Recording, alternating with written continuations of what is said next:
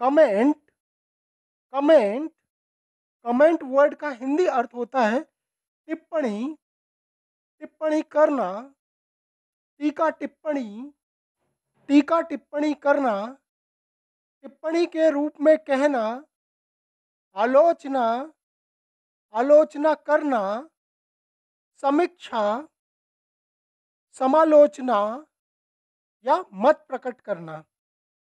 आइए comment word को हम कुछ उदाहरण के माध्यम से और अच्छे से समझ लेते हैं।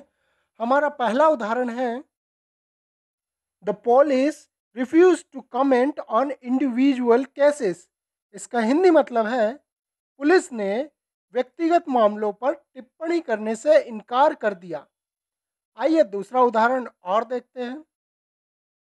Rohit is not able to comment on Facebook post इसका हिंदी मतलब है रोहित फेसबुक पोस्ट पर टिप्पणी नहीं कर पा रहा है।